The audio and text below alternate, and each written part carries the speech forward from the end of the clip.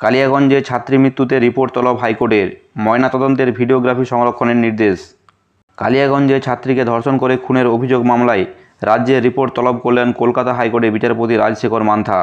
আগামী মঙ্গলবারের মধ্যে রিপোর্ট জমা করতে হবে রাজ্যকে। এখনও পর্যন্ত রাজ্য প্রশাসন কী কী পদক্ষেপ করেছে তা বিস্তারিতভাবে আদালতকে জানাতে হবে। পাশাপাশি ময়নাতদন্তের ভিডিওগ্রাফিও সংরক্ষণ করে রাখতে হবে বলেও নির্দেশ দিয়েছে কোর্ট।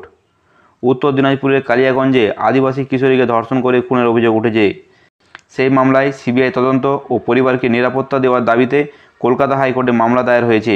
সেই শুনানি এদিন রাজ্যের তরফে জানানো হয়, কিশোরীর দেহে বিষক্রিয়া রয়েছে, কিন্তু ধর্ষণের কোনো প্রমাণ পাওয়া যায়নি।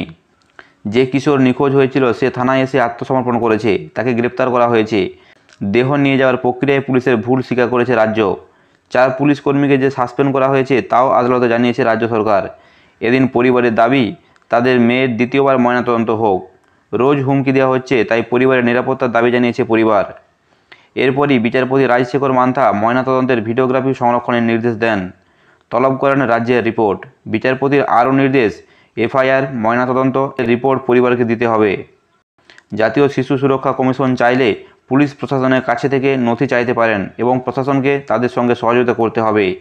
এরপরই বিচারপতি মান্থার মন্তব্য ময়নাতদন্তের রিপোর্ট অনুযায়ী ধর্ষণের কোনো প্রমাণ মেলেনি।